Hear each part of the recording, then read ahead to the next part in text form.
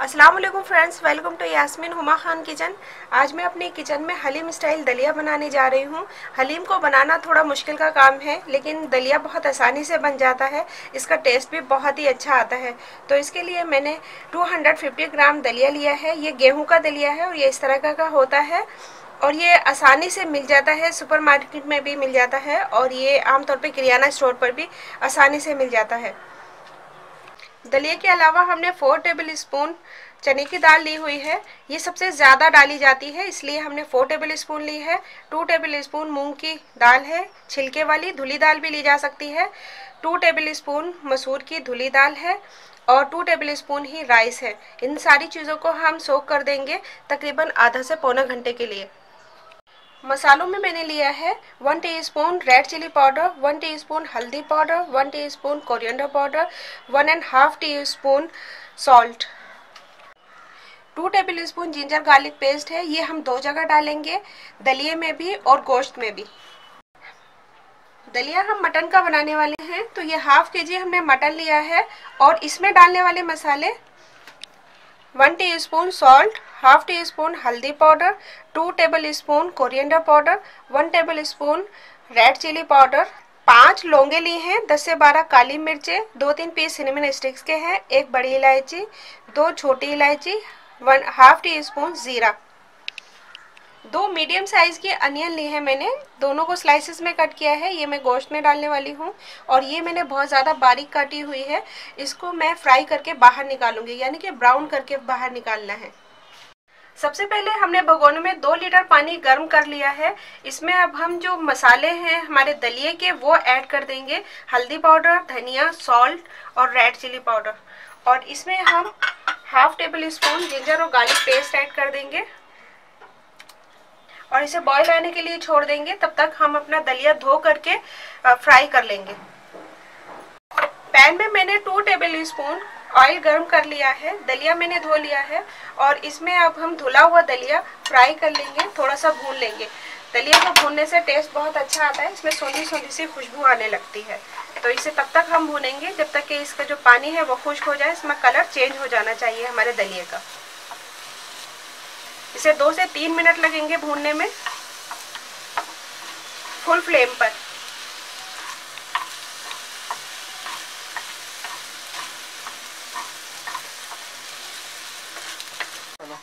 दलिया हमारा भून चुका है। इसको भूनने में चार मिनट लगे हैं और इसका कलर देखिए चेंज हो चुका है। लाइट गोल्डन सा हो गया है। तो इसको अब हम हटा देंगे चूल्हे से।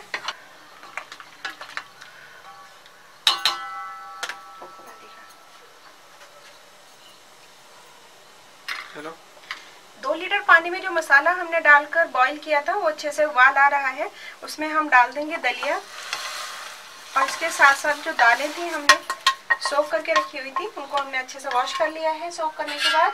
वो भी हम इसमें ऐड कर देंगे। और इसे पकने के लिए छोड़ देंगे जब तक कि ये हमारे टेंडर नहीं हो जाते।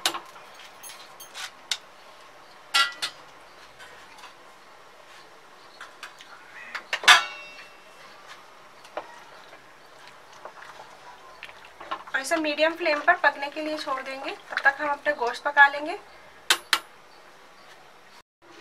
कुकर में मैंने 100 ml कुकिंग ऑयल को गर्म कर लिया है। हल्का गर्म है।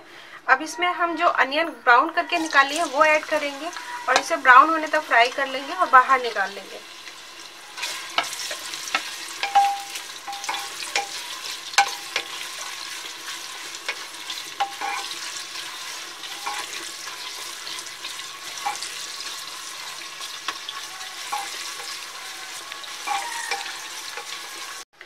अनियन हमारी गोल्डन ब्राउन हो गई है, इसको हमने बाहर निकाल लिया है। इस तरह की गोल्डन करनी थी। और इसमें से कुकर में से मैंने थोड़ा ऑयल निकाल दिया है। एक सर्विंग स्पून के बराबर मैंने ऑयल छोड़ा है इसके अंदर। अब इसके अंदर हम डालेंगे सबसे पहले गरम मसाले, जो हमने खड़े डाले हैं।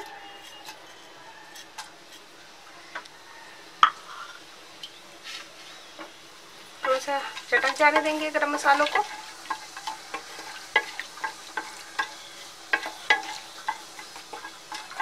गरम मसाले हमारे तड़कने लगे हैं तो इसमें अब हम डाल देंगे अनियन।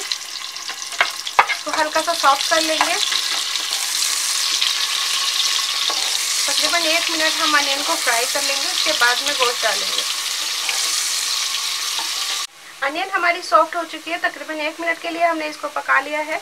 अब इसमें हम ऐड कर देंगे गोश्त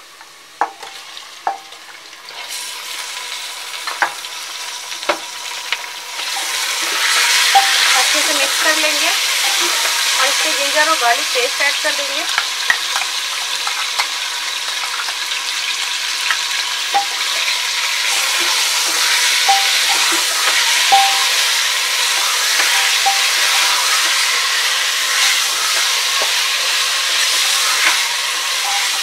और इसी पर ऐड कर देंगे हम ये सारे मसाले और इसे भून लेंगे।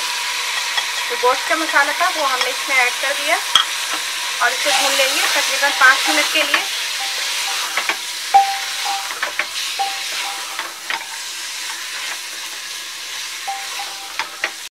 मटन को हमने तकरीबन पाँच मिनट थोड़ा थोड़ा पानी डाल करके भून लिया है। इसके मसाले अच्छे से भून गए हैं। अब इसमें हम आधा कप पानी डाल देंगे और पाँच से छः सीटियाँ लगाएँगे। इतनी लगानी है कि मटन हमारा इतना टेंडर होना चाहिए कि जब हम चम्मच से इसको तोड़ें तो आसानी से टूट जाए। तो इसमें पाँच से छः सीटियाँ लगाएँगे हम। इसमें थोड़ा सा पानी और डलेगा। ऐसे कवर करके।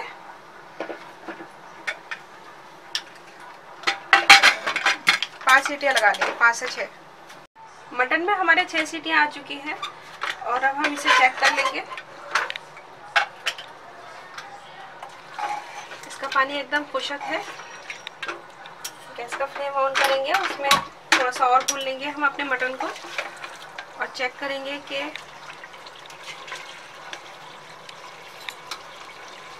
ये देखिए, मटन हमारा इतना ही होना चाहिए कि जब हम इसको बोटियों तोड़े, देखिए। तो ये आसानी से टूट जाए। अब इसको हम अच्छे से भून लेंगे। अच्छी तरीके से बुनाई कर लेंगे इसकी। दलिया को पकते हुए हमारे 15 मिनट से ज़्यादा हो चुके हैं और दलिया तकरीबन हमारा टेंडर हो चुका है अच्छी तरीके से और दालें भी मिक्स हो गई हैं। ये देखिए, अच्छी तरीके से टेंडर हो गया है हमारा दलिया भी और दालें भी अच्छी तरीके से मिक्स हो गए हैं। तो गैस का फ्लेम हमने बिल्कुल स्लो करके रखा हुआ है क्योंकि कुकर में डालकर हम मटन के साथ में एक सीटी लगाएँगे। ये काफ़ी थिक है, इसमें थोड़ा पानी डलेगा। अब इसे हम कवर कर देंगे। बिल्कुल स्लो फ्लेम किया हुआ है इस वक्त मैंने। मटन हमारा अच्छी तरीके से भून चुका है। गैस का फ्लेम स्लो कर देते हैं और इस पर से थोड़ी सी हम तरी उतार लेंगे। क्योंकि तरी ऊपर से डालेंगे तो देखने में बहुत अच्छा लगेगा ये। तो इस पर हम थोड़ा सा पानी डाल दिया है मैंने मटन के अंदर और इस पर से अब हम थोड़ी सी तरी उतार लेंगे। मटन में से हमने तरी निकाल दी है और इसमें अब हम डाल देंगे दलिया।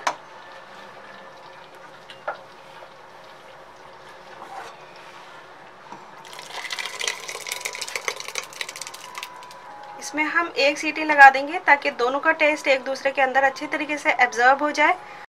कुकर में हमने दलिया ट्रांसफ़र कर दिया, इसे अच्छे से मिक्स कर लेंगे। और इसमें ये काफ़ी थिक है तो तकरीबन एक कप पानी डल जाएगा। इसमें 400 हंड्रेड के करीब पानी डलेगा। को हमने अच्छे से घुमाकर इसमें डाल दिया है, ताकि कोई भी चीज़ ज़ाया ना हो। अब इसकी कंसिस्टेंसी बिल्कुल कंप्लीट है। थोड़ा सा पानी इसमें अभी और डलेगा। अब इसको या तो आप 15 मिनट बिल्कुल स्लो फ्लेम पे पका लीजिए या फिर एक सीटी लगा लीजिए, ताकि दोनों का टेस्ट एक दूसरे के अंदर अच्छे तरीके से एब्जॉर्ब हो जाए।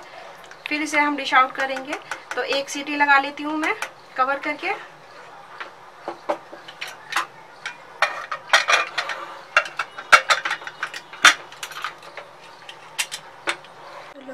हमारे दलिया में एक सीटी आ गई है और इसको हमने इसी के प्रेशर में छोड़ दिया था। अब इसे हम चला लेंगे।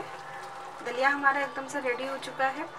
इसमें अब हम डाल देंगे हरा धनिया, बारीक कटा हुआ जूलियन कट अदरक, बारीक कटी हुई थोड़ी सी हरी मिर्च और थोड़ी सी तरी।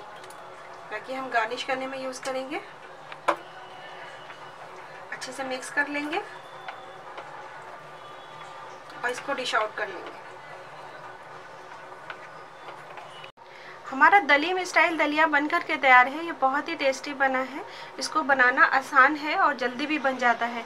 बच्चे और बड़े सभी को पसंद आता है। कभी कभी हमारा कुछ स्पेशल खाने का मन हो तो आप इस रेसिपी को ट्राई कर सकते हैं और अपनी फैमिली के साथ में इसको एंजॉय कीजिए। अगर आपको रेसिपी पसंद आती है तो लाइक करें। और फ्रेंड्स और फैमिली के साथ में शेयर करें और चैनल को सब्सक्राइब करना ना भूलिएगा। तो फिर मिलते हैं एक नई रेसिपी के साथ में। तब तक अपना ख्याल रखिएगा। अल्लाह हाफिज़।